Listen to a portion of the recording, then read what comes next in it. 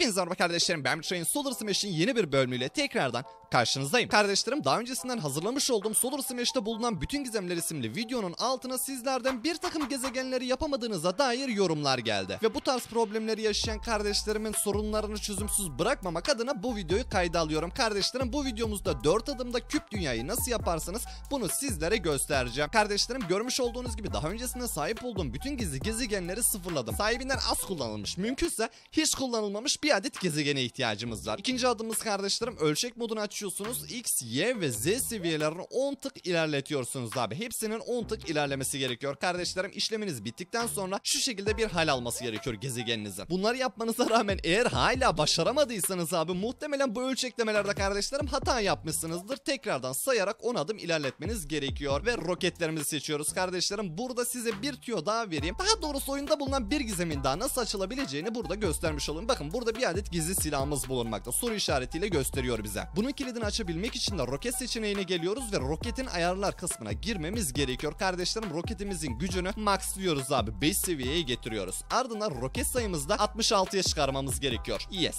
aynen öyle. Yallah. en zevkli kısım. Kesinlikle öyle kardeşlerim artık dünyaya bir tık okşayabiliriz. Bakın Achievement abi yeni bir Bebeğim bebeğim kardeşlerim silah menüsünün üçüncüsündeki gizli silahımızın kilidini açmış bulunmaktayız. Yol.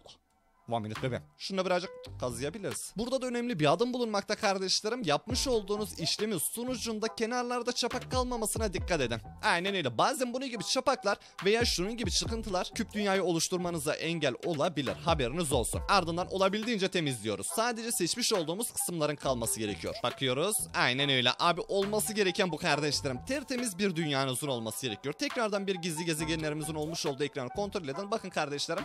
Yok. Açılmamış. Şimdi yapmanız gereken son adım. Resetliyorsunuz.